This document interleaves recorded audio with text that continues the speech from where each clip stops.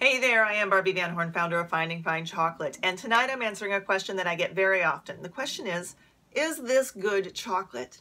This is how I approach chocolate. Number one, I take a look at the ingredients. Typically, the chocolate that I consume has only two ingredients, cacao and sugar. Occasionally, some added cocoa butter or soy lecithin, but certainly never any chemicals, animal fats, or hydrogenated fats. Those are my criteria for ingredients. Second question, did you like the chocolate? Would you like to eat another piece?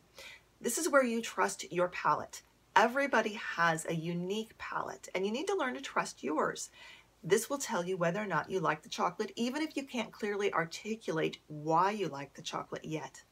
It will tell you whether or not you did like that chocolate. So those are my criteria, the ingredients and did you like it? I hope that this encourages you to do a little palate training. Slow down, listen to your palate, Start to understand why you like what you like and start to be able to articulate that so that you can talk with other people and find more of the chocolate that you truly like yourself. I hope to see you next time. Follow me and uh, let me know what your comments are.